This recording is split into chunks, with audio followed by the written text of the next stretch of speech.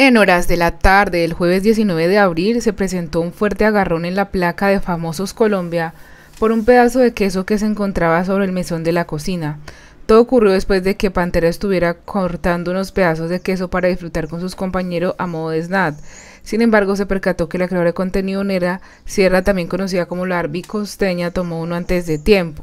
Luego de lo sucedido, Ornella Sierra se retiró del lugar y debido a su forma de ser rompió en llanto y quiso deshogarse con sus amigos más cercanos de la producción del canal RCN y la app Biz. No obstante, no fue muy bien recibido por Pantera, quien quiso encarar la situación luego de vivir la segunda pelea con la joven de 24 años en la que va la semana. Este dijo, yo cuando me he metido con el mercado, yo cuando le he dicho a la gente que no coma nunca, eso a mí no me importa. Cuando no había comida yo era el que menos se quejaba, entonces no me parece justo. Frente a lo ocurrido en la cocina, Alfredo, quien estaba manteniendo una conversación con Ornella y la segura manifestó no estar de acuerdo con la forma en la que Pantera le reclama a sus compañeros, pues pese a que en algunas ocasiones puede tener razón, no utiliza las palabras ni el tono de voz adecuado para respetar su opinión.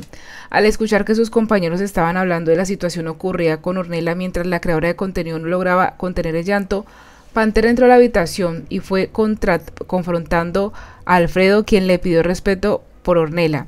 En ese momento los integrantes de la Casa de los Famosos Colombia se enojaron aún más, pues no lograron llegar a un acuerdo.